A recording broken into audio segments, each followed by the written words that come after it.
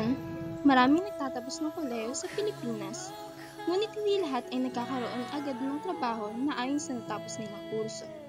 Ang kawalang trabaho o unemployment ay nangyayari kapag ang tao ay aktibong naghahanap ng trabaho, ngunit walang makita ni isa. Ang bilang ng kawalang trabaho ay isang sukat ng pagiging laganap ng kawalang trabaho at kinukwenta bilang isang porsyento na hinahati ng mga bilang ng mga individual na walang trabaho ang lahat ng mga individual na kasalukuyang nasa pwersong nagtatrabaho.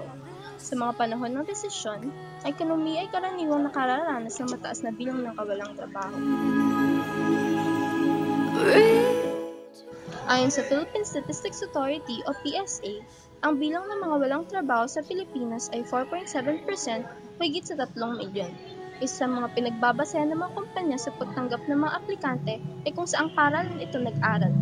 Base sa pag-aaral ng Job Street noong nakaraang taon, ang Technological Institute of the Philippines o TIP ay nasa pangpito sa buong Pilipinas.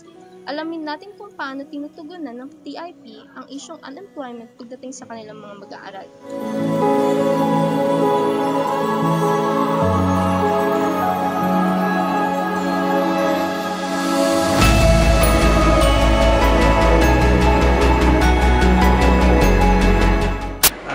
Many programs and services uh, to help our students find employment.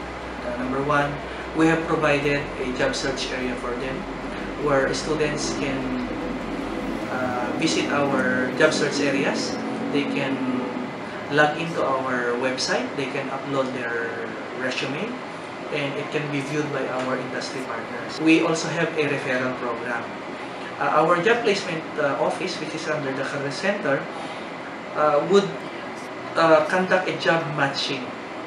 And uh, those who will qualify will be referred to the industries, to the companies who are requesting for uh, employees or looking for suitable applicants for their available positions. Another program that we have initiated is the on-campus recruitment, where we invited many companies here to conduct uh, on-site. It means uh, recruitment within the campus.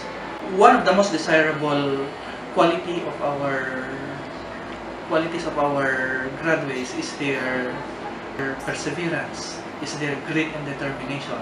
We have nurtured and developed these uh, uh, industry desired values by our students.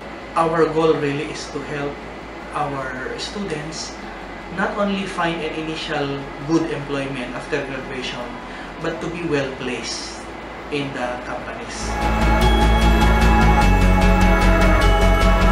We are, we are lifelong learners, we are problem solvers, and also an innovator. Uh, for example, we are an innovator in the sense that we find ways on how to uh, solve the problems in a different way that they didn't expect.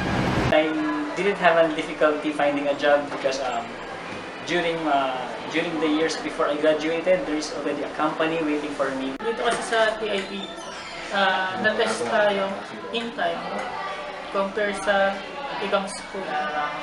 May comparison na. Because I see sa ibang school, masyadong ma, ah, mababa yung ano nila, yung training nila compare sa atin. So, you see, yung mga pinapagawa dito, ah, mahirap, uh, nakapagod, nakapuyat, ubos oras. No? So from that, natitrain na kayo kung paano yung pagsabak niyo sa labas in reality.